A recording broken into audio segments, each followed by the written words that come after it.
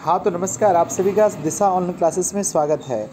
हम इस वीडियो में देखने वाले हैं कक्षा दस के गोधुली हिंदी का चैप्टर नंबर दस, मछली। है ना? विनोद कुमार शुक्ल ने लिखा है, ये एक कहानी है। और अगर आपने इसका पूरा स्टोरी नहीं सुना है तो सबसे पहले लिंक नीचे डिस्क्रिप्शन में, वहाँ से जाके आप पूरी कहानी को पहले सुन लीजिए, समझ लीजिए। उसके बाद इसका ऑब्जेक्टिव टेस्ट दीजिएगा। है ना? मैं उम्मीद करता हूँ कि बत्तीस प्रश्न इसमें हैं। और आप बत्तीस में से कम से कम इकतीस प्रश्न सही करोगे, बस वो स्टोरी को आप अच्छे से सुन लीजिए। तो चलिए हम वीडियो को स्टार्ट करते हैं। अगर आप लोगों ने स्टोरी सुन लिया है तो पहले बता दीजिए मुझे कि हमने सुन लिया है। पहला क्वेश्चन देखिए, है ना? बिहार बोर्ड के स्टूडेंट के लिए, अगर आप बिहार बोर्ड के स्टूडेंट हैं तो आप इस वीडियो को एक सेकंड के लिए भी स्किप ना कीजिएगा, क्योंकि आपके एग्ज़ाम में यहाँ से तीन से चार ऑब्जेक्टिव बनते हैं। सिर्फ़ यहाँ से तीन ऑब्जेक्टिव बनेंगे, लगभग। पहला क्वेश्चन है कि मछली किस कहा, है ना? मछली किसकी कहानी है? ऑप्शन है रामविलास शर्मा, अशोक वाजपेयी, विनोद कुमार शुक्ल या यतेंद्र मिश्र। तो आपको पता ही है कि मछली जो है, वो किसकी है? मछली कुमारा लोग खाते हैं, हमने ट्रिक बताया था तो विनोद कुमार शुक्ल होगा। क्वेश्चन नंबर दो, विनोद कुमार शुक्ल का जन्म कब हुआ था? ऑप्शन 18 फरवरी 1916 10 अक्टूबर 1912 4 फरवरी 1938 1 जनवरी 1937 है ना? तो विनोद कुमार शुक्ल का जो जन्म हुआ था आप लोगों को मैंने खूब अच्छे से बताया था कि एक जनवरी 1937 को हुआ था। ऑप्शन नंबर डी सही है। अगला प्रश्न है विनोद कुमार शुक्ल को साहित्य अकादमी पुरस्कार किस वर्ष मिला था? अगर आप स्टोरी सुन लेंगे तो एक भी ऑब्जेक्टिव गलत नहीं होगा। ऑप्शन है हमारा 1990, उन्नीस सौ बिरानवे है ना? तो विनोद कुमार शुक्ल को जो साहित्य अकादमी पुरस्कार मिला था मैंने आपको बताया था 1990 ईस्वी में मिला था। अगला प्रश्न है, लेखक को मछली खाने से किसने मना किया था? ऑप्शन ए, पिता ने, ऑप्शन माँ ने, भाई ने या फिर बहन ने। देखिए, लेखक के घर में सिर्फ़ पिताजी ही मछली खाते थे और और सभी बच्चों को खाने के लिए माँ ने मना किया था। ऑप्शन नंबर बी सही होगा। अगला प्रश्न है, लेखक के घर में मछली कौन खाता था? लेखक, पिता, माँ या बहन, है ना? तो लेखक के घर में मछली कौन खाता था आपको, है ना? एग्ज़ाम में क्वेश्चन आएगा तो राइट आंसर करना है कि उसके पिताजी खाते थे ऑप्शन नंबर बी अगला प्रश्न है, लेखक अपने पिता से क्या मांगना चाहता था? ऑप्शन खिलौना, किताब, पैसा या फिर मछली, है ना? तो लेखक अपने पिता से मछली मांगना चाहता था, जिसे वो कुएँ में छोड़ना चाहता था। तो ऑप्शन नंबर आपका डी सही होगा। अगला प्रश्न है, लेखक के पिता ने किसकी, है ना, लेखक के पिता ने कितनी मछलियाँ खरीदी थी? ऑप्शन देखिएगा, एक मछली, दो, तीन या चार, है ना? तो लेखक के पिताजी ने कुल तीन मछलियाँ खरीदी थी। नेक्स्ट प्रश्न आता है, विनोद कुमार शुक्ल किस कृषि विश्वविद्यालय में एसोसिएट प्रोफेसर थे? संजय गांधी कृषि विश्वविद्यालय पूषा कृषि विश्वविद्यालय, इंदिरा गांधी कृषि विश्वविद्यालय, राजेंद्र कृषि विश्वविद्यालय। आपने अगर हमारा स्टोरी वाला वीडियो देखा है तो ये सब आपको बच्चा वाला क्वेश्चन लगेगा और हंड्रेड परसेंट आप सही करोगे। ऑप्शन नंबर आपका सही है, इंदिरा गांधी विश्वविद्यालय। अगला प्रश्न है, मछली कहानी किस संकलन से ली गई है? पेड़ पर कमरा, नौकर की कमीज़, महाविद्यालय, विश्वविद्यालय। तो मछली जो हमारी ली गई है कहानी, ये ली गई है महाविद्यालय से। ऑप्शन नंबर सी, अगला प्रश्न।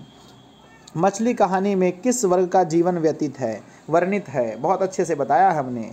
निम्न वर्ग का, उच्च वर्ग का, मध्यम वर्ग का या कृषक वर्ग का, है ना? तो जल्दी से आप सभी लोग कमेंट करके बताएँगे।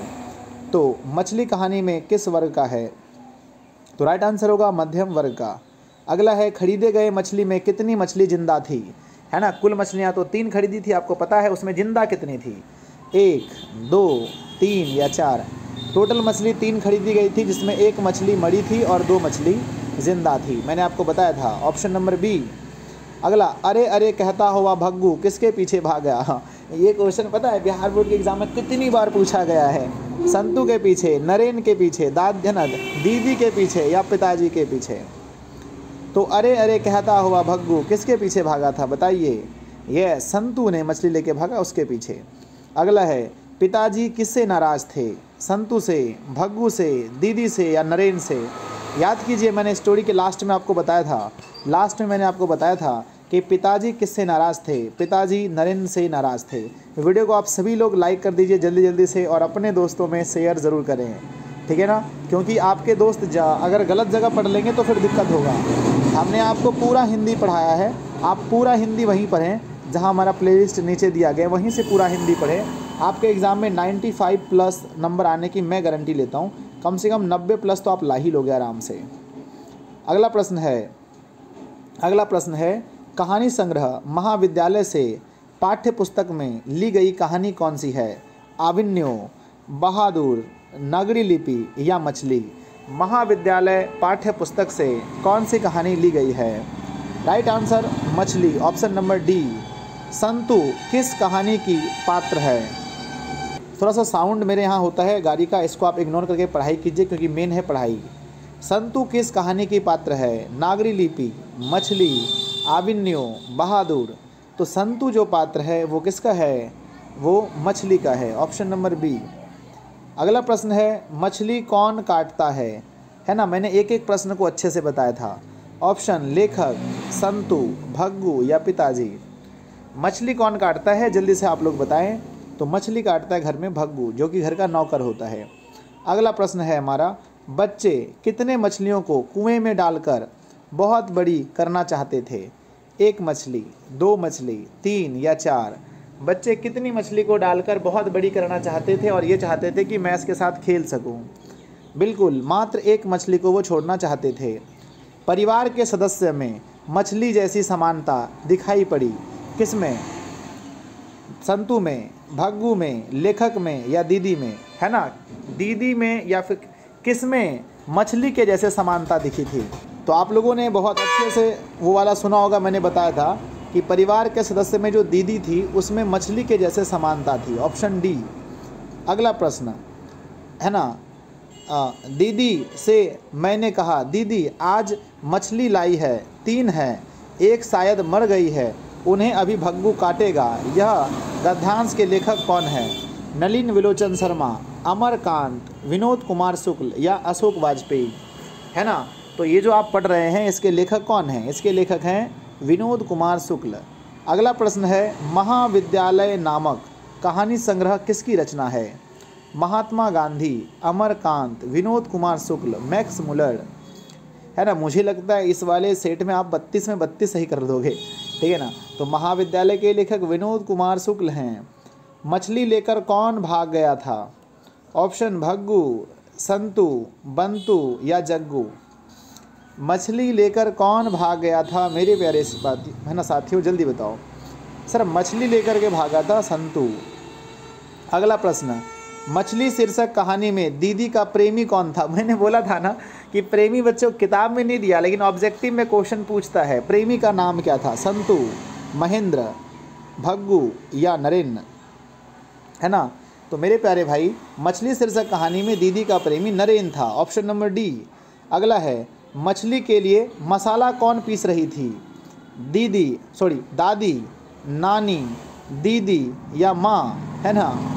कितने अच्छे से मैंने बताया स्टोरी में। एक एक चीज़ को बताया मैंने कि मछली के लिए मसाला पीस रही थी कौन? माँ पीस रही थी मछली के लिए मसाला। अगला प्रश्न आता है, विनोद कुमार शुक्ल किस कृषि विश्वविद्यालय में एसोसिएट प्रोफेसर थे? ये तो पहले भी देखा हमने। संजय गांधी, राजीव, इंदिरा, फिरोज़, है ना? तो वो इंदिरा गांधी में थी। ऑप्शन नंबर सी अगला प्रश्न, लेखक अपने पिता से मछली क्यों मांगना चाहता था? ऑप्शन ध्यान दीजिएगा, खाने के लिए, खेलने के लिए, कुएँ में पालने के लिए या फेंकने के लिए। है ना? लेखक अपने पिता से मछली क्यों मांगना चाहता था? राइट आंसर कुएँ में पालने के लिए। अगला प्रश्न है, मोहरा नदी शहर से कितनी दूर थी? एक मील, दो मील तीन मील या फिर चार मील। जल्दी से आप लोग बताएँगे कि मोहरा नदी कितनी दूर थी। तो मोहरा नदी शहर से तीन मील दूर थी। अगला प्रश्न है, ठंड से काँप रहा था। संतु, भग्गू, नरेन या बहादुर? ठंड से कौन काँप रहा था? जल्दी बताएँगे। तो ठंड से काँप रहा था संतु, ऑप्शन ए। अगला प्रश्न, मछली साहित्य की कौन सी विधा है? निबंध है, साक्षात्कार है, व्यक्तिगत चित्र है या कहानी है। है ना? मैं एक बार फिर से कहता हूँ कि यदि आपने इसका स्टोरी नहीं देखा तो नीचे लिंक दिया गया है, वहाँ से जाके आप पहले पूरा स्टोरी देख लें या प्ले लिस्ट में देखें। नहीं आता है तो सर्च कीजिए Godhuli by Disha online classes YouTube पे सर्च कीजिए Godhuli by Disha online classes जो चीज़ देखना है, उसको बाय दिशा ऑनलाइन क्लासेस दीजिए, आ जाएगा। ठीक है ना? तो मछली साहित्य की कौन सी विधा है तो यह कहानी है। अगला प्रश्न है मछली जैसी समानता दिखाई पड़ती है, संतु में, भग्गू में, लेखक में या दीदी में। ये क्वेश्चन तो दोबारा आ गया। दोबारा क्वेश्चन आ गया कि दीदी मछली के तरह ही तड़पती थी। पता है ना आपको? यस अगला।